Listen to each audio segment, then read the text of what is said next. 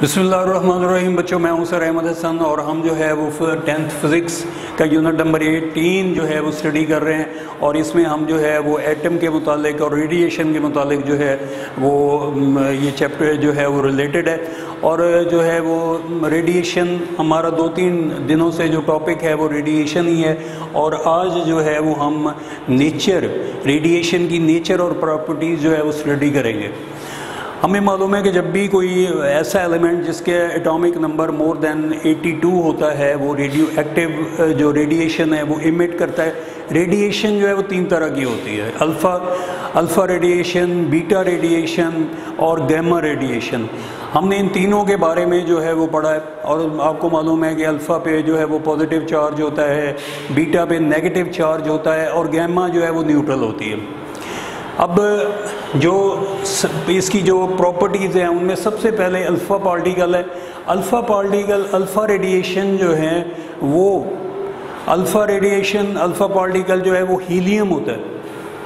Helium को मैंने कल भी बताया था कि हीलियम को अल्फ़ा पार्टिकल कहते हैं। और जो है वो ये जो, इसमें दो प्रोटॉन होते हैं, इसके न्यूक्लियस में दो न्यूट्रॉन होते हैं और बाहर जो है वो ऑर्बिट में दो इलेक्ट्रॉन जो है वो मूव है। बहुत आइडियल किस्म का जो है वो एलिमेंट है, जिसमें जो है वो जो है वो इसको हम एज ए जो है वो अल्फ़ा पार्टिकल के तौर पे लेंगे। जब भी हीलियम जो है उसका ज़िक्र आएगा, उसका जो है तस्करा होगा तो हम ये जेन में रखें कि हीलियम जो है वो अल्फ़ा पार्टिकल है। जितनी रेडिएशन है, वो जो है, किसी भी एलिमेंट जो रेडियो रेडियो एक्टिव एलिमेंट है, वो उसमें डिके हो सकता है, ठीक है? अल्फ़ा पार्टिकल की वजह से। अगर एमिटिंग उसमें से अल्फ़ा पार्टिकल निकल रहे हैं तो इसका मतलब है कि वो अनस्टेबल से स्टेबल की तरफ़ जो है, वो मूव करेगा। इसके बाद दूसरा है बीटा पार्टिकल बीटा पार्टिकल जो है, वो high stream stream of high energy electron होते हैं। बीटा पार्टिकल, क्योंकि नेगेटिव चार्ज है और नेगेटिव चार्ज एटम में जो है वो सिर्फ़ इलेक्ट्रॉन पे होता है। इसलिए बीटा जो पार्टिकल हैं वो stream of high energy electron पे होता है। ठीक है, और इसमें जो है, ये जो है वो किसी भी एटम में बहुत ज़्यादा न्यूट्रॉन की वजह से जो है वो बीटा पार्टिकल जो है वो इजेक्ट हो सकते हैं। और उसका जो है, वो उस एलिमेंट का जो है, वो डिके हो सकता है। तीसरा जो पार्टिकल है, तीसरी रेडिएशन है जो है, वो गैमा गामा जो है, वो रेडिएशन वो हाई स्ट्रीम जो है, वो हाई पावर लाइट फोटोन है। ठीक है लाइट की जो है, इसके पैक्टों में जो है, वो जो है मूव करता है। इट इज़ जो है इलेक्ट्रोमैग्नेटिज्म ये इलेक्ट्रोमैग्नेटिज्म से they are electromagnetic effect with high जो है फ्रीक्वेंसी फ्रीक्वेंसी जब हाई फ्रीक्वेंसी होती है तो उसकी वेवलेंथ जो है वो शॉर्ट होती है। और ये किसी भी जो है वो अनस्टेबल न्यूक्लियाई से जो है, जब उसमें से निकलते हैं तो उस जो है बहुत ज़्यादा एनर्जी जो है वो हमें गेन होती है। ये जो है वो नेचर थी और उसकी जो है वो प्रॉपर्टीज़ थी। हमने स्टडी की रेडिएशन की, सबसे पहले अल्फ़ा पार्टिकल को देखा। अल्फ़ा पार्टिकल जो है वो क्या है? अल्फ़ा रेडिएशन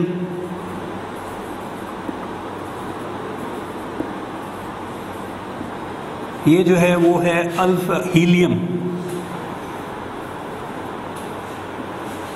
हीलियम एटम होता है एच ई इसमें जो है दो प्रोटॉन होते हैं।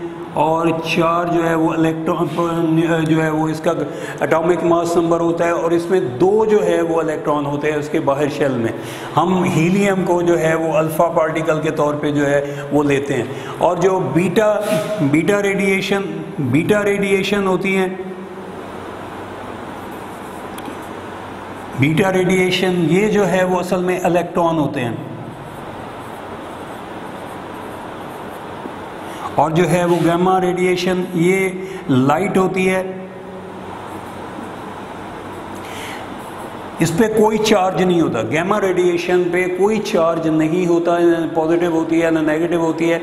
इसलिए जो है वो हाई स्पीड लाइट जो है लाइट ऑफ़ फोटोन पे इसका जो है ताल्लुक होता है।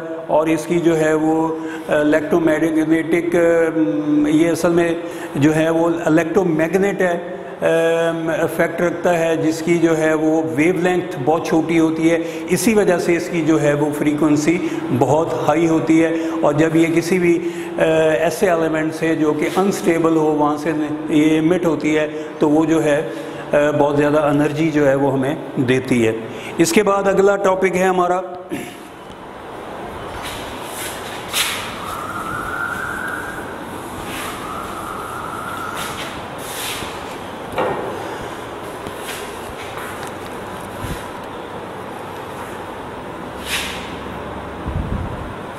ionizing effect.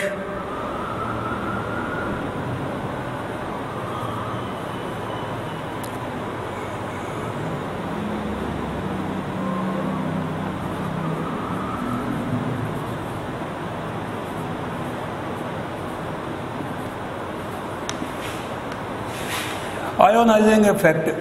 Ionizing effect the phenomena by which radiation split all the three radiation uh, into positive and negative ions. जब भी कोई जो है वो रेडिएशन uh, जितनी भी रेडिएशन है वो मैटर को पॉजिटिव और नेगेटिव आयन में कन्वर्ट करती हैं तो हम इसको कहते हैं आयोनाइजिंग आयोनाइजेशन इस प्रोसीजर को क्या कहते हैं? आयोनाइजेशन वो फिनमिना जिसमें रेडिएशन मैटर को पॉजिटिव और नेगेटिव आयन में कन्वर्ट कर दें, उसको आयोनाइजेशन कहते हैं। अब आयोनाइजेशन पावर जो है वो सबसे ज़्यादा, ये तीनों तीनों radiation alpha party alpha radiation beta radiation gamma radiation ये तीनों की तीनों जो हैं वो आयोनाइज करती हैं किसी भी एलिमेंट को मैटर को। लेकिन सबसे ज़्यादा जो आयोनाइजिंग पावर होती है, वो होती है अल्फ़ा की।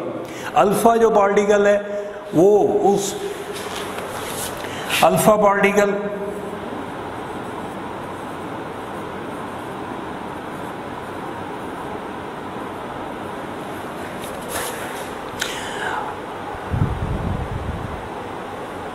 अल्फ़ा पार्टिकल जो है, वो सबसे ज़्यादा पेनिट्रेटिंग इनमें इसमें जो है सबसे ज़्यादा पावर जो है अल्फ़ा पार्टिकल्स में होती है। इसकी वजह यह है कि इसमें बहुत ज़्यादा जो है वो पॉजिटिव चार्ज होता है और जो है वो अल्फ़ा पार्टिकल अल्फ़ा रेडिएशन का मास भी बहुत ज़्यादा होता है।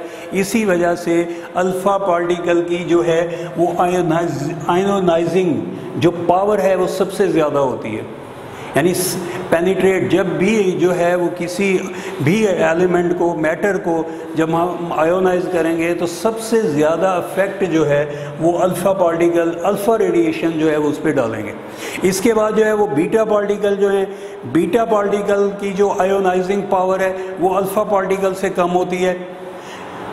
होती है, लेकिन क्यों होती है, वो उसकी वजह यह है कि उसमें चार्ज होता है। आपको मालूम है कि बीटा पार्टिकल पे नेगेटिव चार्ज है, इस वजह से वो उसकी भी जो है, वो आयोनाइजिंग पावर है, वो रखता है, लेकिन उसकी जो आयोनाइजिंग पावर होगी, वो अल्फ़ा पार्टिकल की नस्बत बहुत कम होगी।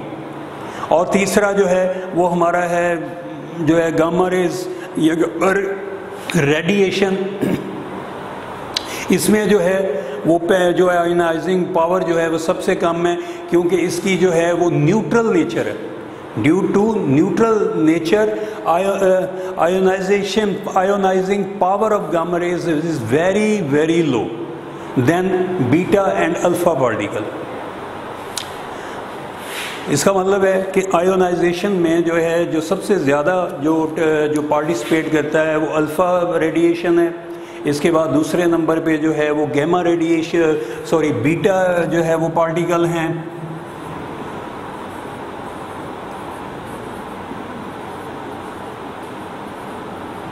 और ये जो गैमा पार्टिकल हैं वो सबसे कम होंगे।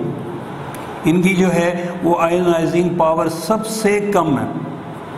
यानी सबसे ज़्यादा इसकी फिर दूसरे नंबर पे, यानी ये जो है वो पहले नंबर पे है। ये दूसरे नंबर पे और ये जो है वो सबसे लो आयोनाइजिंग पावर जो है वो गामा पार्टिकल की होती है, ये तीसरे नंबर पे है। दूसरे नंबर पे बीटा पार्टिकल है और पहले नंबर पे जो है वो अल्फ़ा पार्टिकल है।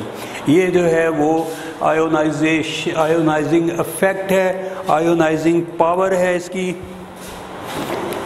इसके बाद अगला है पेनिट्रेटिंग पावर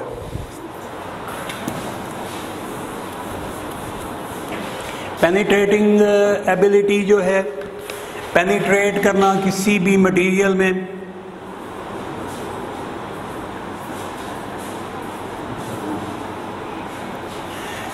Penetrating ability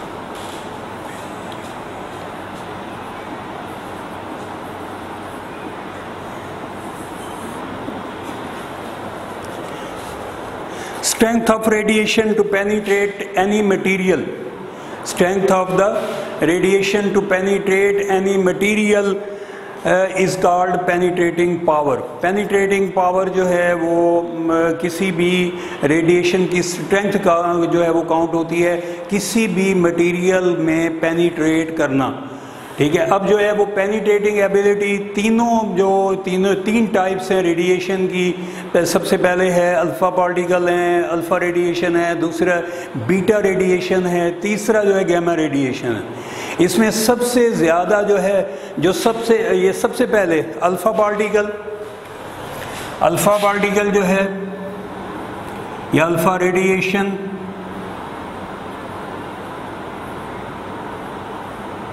इसके बाद है बेट बीटा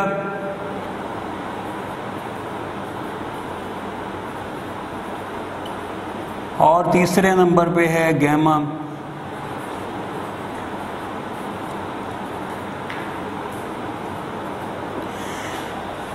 अल्फ़ा पार्टिकल की जो है पेनिटेटिंग एबिलिटी बहुत कम है। ठीक है, इसका जो है वो, इसकी इंटरैक्टिंग क्यों कम है? इसलिए कि इंटरैक्टिंग पावर इंटरैक्टिंग पावर जो है वो बहुत ज़्यादा है और जो है वो किसी भी ये आयोनाइज इंटर इंटरैक्टिंग और आयोनाइजिंग पावर जो है वो बहुत ज़्यादा अल्फ़ा पार्टिकल की। इसी वजह से इसकी जो पेनिट्रेटिंग एबिलिटी है वो बहुत कम है। इसके बाद दूसरे नंबर पे है बीटा पार्टिकल बीटा पार्टिकल की जो पेनिट्रेटिंग पावर है या पेनिट्रेटिंग एबिलिटी है वो अल्फ़ा पार्टिकल के मुकाबले में कुछ ज़्यादा है।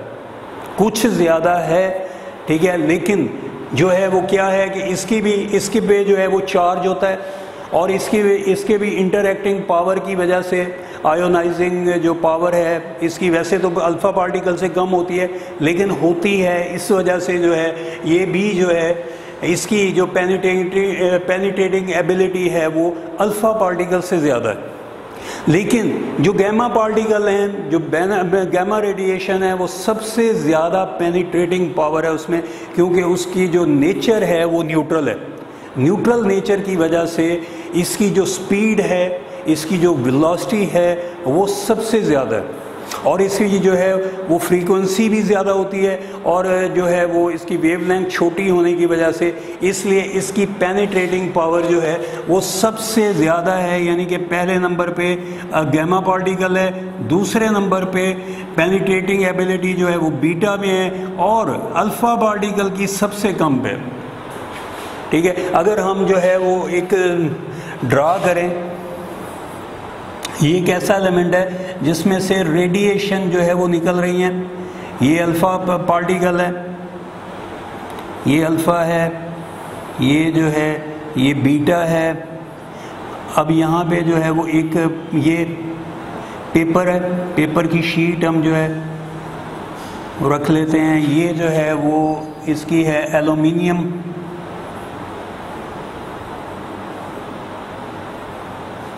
एलुमिनियम, दूसरा है एलुमिनियम। और तीसरी जो है, वो है वो है लेड। अगर हम इसको जो है, वो शो करें, ये एक ऐसा सोर्स है, जिसमें से रेडिएशन जो है, वो इमिट हो रही है।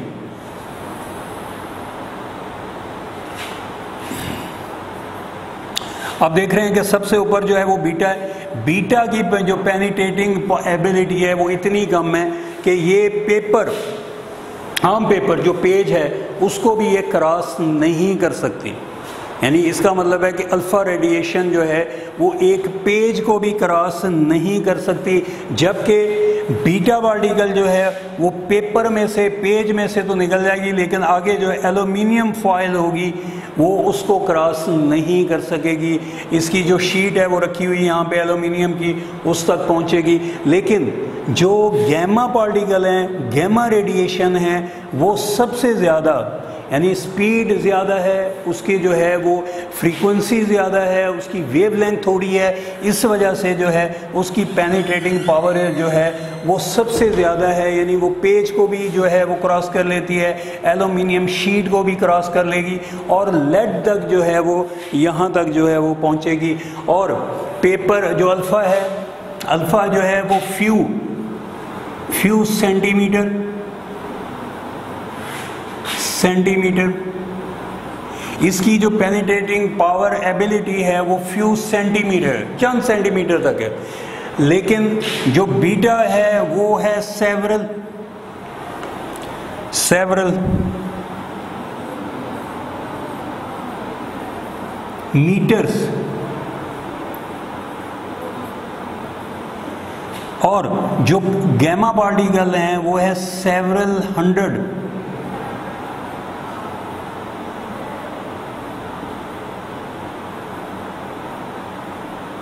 hundred metres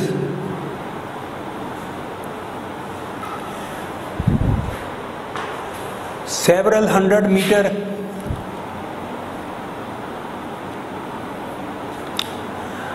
सबसे ज़्यादा, अब जो है वो ये मीटर्स में आती है। जो बीटा पार्टिकल हैं बीटा रेडिएशन सेवन में सेवरल मीटर जो है, इनकी पेनिट्रेटिंग पावर है। अगर कंक्रीट है कंक्रीट का एक मोटा जो है, वो ब्लॉक पड़ा है, ठीक है, वो उसमें से गैमा पार्टिकल जो है, वो आसानी गुजर जाएँगे। गैमा रेडिएशन उसको आसानी से पास कर लेगी। जो है बीटा पार्टिकल जो है, वो उसमें से कुछ मीटर तक जाएँगे। जबकि जो है वो अल्फ़ा पार्टिकल जो है वो आपको मालूम है कि एक पेपर जो है, एक आम सिंपल पेज जो है, उसको भी क्रॉस नहीं कर सकते। इसलिए जो है वो पेनिटेटिंग पावर सबसे कम अल्फ़ा पार्टिकल में है तो उससे ज़्यादा बीटा पार्टिकल या बीटा रेडिएशन में है और तीसरा जो है वो गैमा पार्टिकल या गैमा रे जो है वो रेडिएशन उसकी सेवरल हंड्रेड मीटर जो है वो उसकी जो है वो रेंज होती है। तो बहरहाल, ये बच्चों, आज का टॉपिक था हमारा। आज जो है, इसकी अब सबसे पहले डायरी लिख लें। उसके बाद बाकी बात, बाद में करते हैं। लर्न प्लस राइट आपने इसको याद करना है और इसके बाद इसको लिखना ज़रूर है। जब आप लिख लेते हैं तो इसका मतलब है कि ये टॉपिक आपके हाथ में आ चुका है। आप इसको, इसका हक अदा कर चुके हो। तो बच्चों, आज जो हमने पढ़ा, हमने नेचर रेडिएशन के मुतालिक जो है नेचुरल रेडियो एक्टिविटी का फिनमिना हमने कल स्टार्ट किया था। उसकी आपने जो है, वो इक्वेशन भी देखी थी जनरल इक्वेशन भी देखी थी। उसकी एग्ज़ाम्पल भी आपने देखी थी। मैं उम्मीद करता हूँ कि आपने वो सारा याद करके लिखा होगा। आज जो है, वो हमारा टॉपिक जो था, वो नेचर और प्रॉपर्टीज़ थी। मुख्तलफ़ इसकी जो रेडिएशन की अल्फ़ा रेडिएशन बीटा रेडिएशन और गैमा रेडिएशन बीटा रेडिएशन जो है बीटा पार्टिकल जो है, वो हीलियम के एटम को कहते हैं। और इसके बाद जो है, वो बीटा पार्टिकल जो है, वो असल में जो है, वो stream of high energy electron है। और जो गैमा है, वो असल में हाई स्पीड जो है, वो लाइट है लाइट फोटोन है। ठीक है हाई एनर्जी लाइट फोटोन पे मुश्तमिल होती है। इसके बाद हमने जो है, वो इसकी आयोनाइजिंग पावर जो है आयोनाइजिंग एबिलिटी आयोनाइजेशन जो है वो उसकी जो है, वो पावर देखी और उसमें जो है, वो हमने देखा कि अल्फ़ा पार्टिकल सबसे ज़्यादा पेनिट्रेट पेनिट्रेटिंग एबिलिटी रखते हैं। ठीक है, इसके बाद बीटा पार्टिकल और तीसरे नंबर पे जो है अल्फ़ा पार्टिकल हैं। और उसके बाद अगला टॉपिक था हमारा पेनिट्रेटिंग एबिलिटी पेनिट्रेटिंग एबिलिटी किसी भी मटेरियल में से रेडिएशन का पास हो जाना। हार्ड मटेरियल ठीक है, उसमें हमने देखा कि सबसे ज़्यादा जो है वो गैमा पार्टिकल जो थे वो एक्टिव थे, क्योंकि इसकी जो नेचर है वो न्यूट्रल है, इसकी स्पीड वेलोसिटी बहुत ज़्यादा होती है, जिसकी वजह से ये किसी भी मटेरियल में पास हो सके। कई मीटर जो है, मोटा जो कंक्रीट है, उसमें से जो है गैमा रेज जो है वो, उसमें से पास हो सकती हैं। और ये एक फिगर बनी हुई है फिगर पेज उस पर पेज पे भी है। यहाँ से ये जो है वो फिगर आपने बनानी है कि अल्फ़ा की जो है वो पेपर भी क्रॉस नहीं कर सकता। एलुमिनियम फॉयल जो है शीट पड़ी है बीटा उसको क्रॉस नहीं कर सकता पेज को क्रॉस कर लेता है। जबकि जो है, वो गैमा जो है, वो पेपर भी क्रॉस कर लेता है, एलुमिनियम की शीट भी, और लेड जो है, उस पर आके रुकता है। लेकिन ये भी काफ़ी दूर है। सेवन सेवरल हंड्रेड मीटर इसकी रेंज होती है। इसकी सेवरल मीटर होती है, जबकि अल्फ़ा पार्टिकल जो है, वो फ्यू सेंटीमीटर जो है रेंज रखते हैं। तो इन बच्चों, कल फिर मुलाकात होगी। आपने ये दोनों, तीनों टॉपिक जो हैं, ये प्रॉपर्टीज़ बहुत इंपॉर्टेंट है। ये शॉर्ट क्वेश्चन हमेशा जो है, वो बोर्ड के पेपर में आ जाता है। इसको आपने अच्छी तरह याद कर लेना है। बाकी आयोनाइजिंग पावर और पेनीटेटिंग एबिलिटी ये जो है, ये लॉन्ग क्वेश्चन में आते हैं। इसलिए इसको आपने अच्छी तरह प्रिपेयर कर लेना है। ओके इन कल मुलाकात होगी। अल्लाह हाफिज़।